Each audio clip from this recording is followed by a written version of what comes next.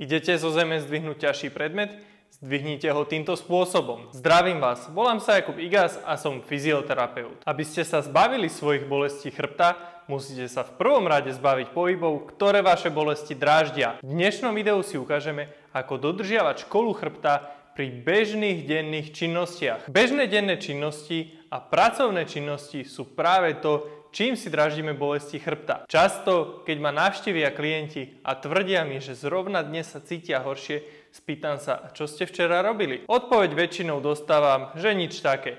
No keď sa pýtam ďalej, zistím, že klient alebo klientka deň predtým upratoval celý dom, pracoval na záhrade alebo okolo domu. Pozorne sledujte toto video a snažte sa informácie z neho preniesť do vášho bežného denného života. Idete zo zeme zdvihnúť ťažší predmet? Zdvihnite ho týmto spôsobom. Pristupte ku predmetu tak, že ho máte čo najbližšie ku nohám.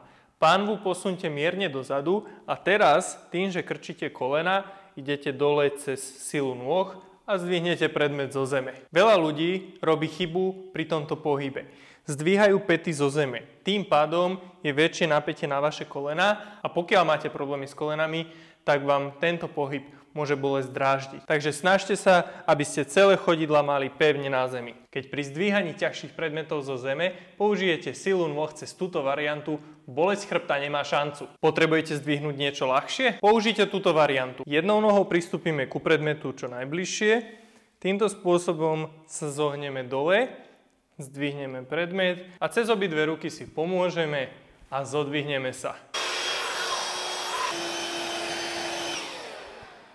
Upratovanie. Ženy, pri upratovaní často zabúdajte na svoje bolesti chrbta, pretože upratať predsa treba aj cez bolesť, nie? To isté platí u chlapov, pri manuálnych činnostiach, hlavne pri práci okolo domu. Pri upratovaní taktiež využívajte silu svojich nôh a udržujte chrbát vzpriamený. Najlepšie je, keď máte dlhšiu ručku, aby ste sa nemuseli príliš zohýbať. Snažte sa vyhybať predklonu a pri upratovaní si zároveň zaposilujete nohy. Pokiaľ sa pri upratovaní potrebujete ku niečomu zohnúť, nerobte to týmto spôsobom, ale znovu si klaknite dole alebo sa dajte na 4. Váš chrbát sa vám za to poďakuje. Ako sedieť? Pokiaľ vás trápia bolesti chrbta pri sedení, tak v prvom rade je dôležité sedieť správne s vystretým chrbtom.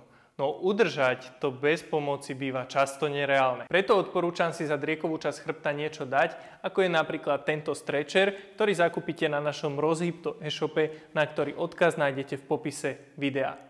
Teraz sa sedí oveľa jednoduchšie s vystretým chrbtom. Stretcher vám zabezpečí správne udržiavanie driekovej lordozy, vďaka čomu sa vyhnete bolesti počas sedenia. Netreba však zabúdať, že dlhodobý set treba prerušovať čo najviac, ako je pre vás možné. Ako vstávať z postele? Pri vstávaní z postele je taktiež v prípade, že vás trápia bolesti chrbta, dôležité udržiavať chrbticu v neutrálnej pozícii. Pokrčte si nohu, pretočte sa na bok, nohy si pokrčte teraz obidve, zveste ich dole z postele a za pomoci ruk sa otlačte do sedu. Takúto školu chrbta je dôležité dodržiavať hlavne v prípade, že máte bolesti chrbta. Pokiaľ vás bolesti chrbta netrapia, tak žiadna z týchto činností so zhrbeným chrbtom nie je pre vás nebezpečná, pretože všetky pohyby sú pre našu chrbticu prírodzené.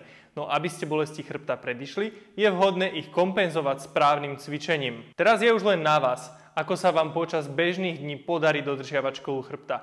No pokiaľ vás trápia bolesti, určite sa ju snažte dodržiavať čo najviac. Ak sa vám video páčilo, dajte like a zdieľajte ho. Naštívte náš Rozhýbto e-shop, kde nájdete množstvo pomôcok a online kurzov, vďaka ktorým sa zbavíte vašich bolestí chrbta. Do komentára označte niekoho, koho trápia bolesti chrbta a musí toto video určite vidieť.